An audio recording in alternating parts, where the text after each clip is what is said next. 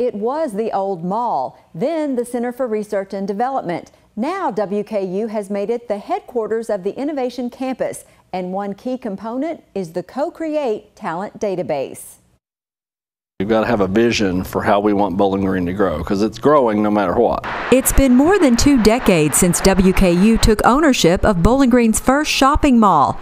Now called WKU's Innovation Campus, it's taking resources for economic development to the next level. We want to make sure that entrepreneurs who live here, talented people who would love to come back, um, economic developers in the rural counties in our service area all know that they can come here. To that end, the recently launched Co-Create Talent Database allows professionals from anywhere in the world to confidentially add their name and resume to a secure database. We can take this database and go to potential employers that might want to come to Bowling Green and say, look at this, I've got this workforce ready to go skilled professionals all ready and willing to come back to Bowling Green.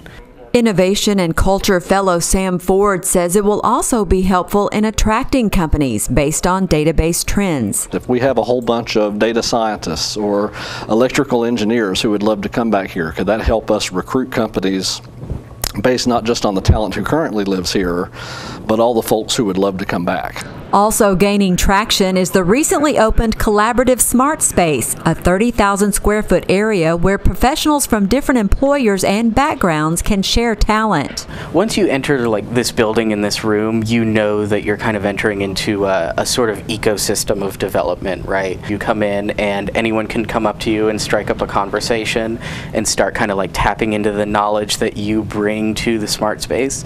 Innovative ways that the Innovation Campus is committed to applied research and workforce development. All of these programs are really about creating infrastructure that attracts and supports and retains talent. As we like to say, come create at the WKU Innovation Campus. To upload your name and resume to the Co-Create Talent Database, simply log on to www.cocreate-ic.com. And to learn more about the collaborative smart space, log on to www.create-ic.com. With this week's View from the Hill, I'm Amy Bingham.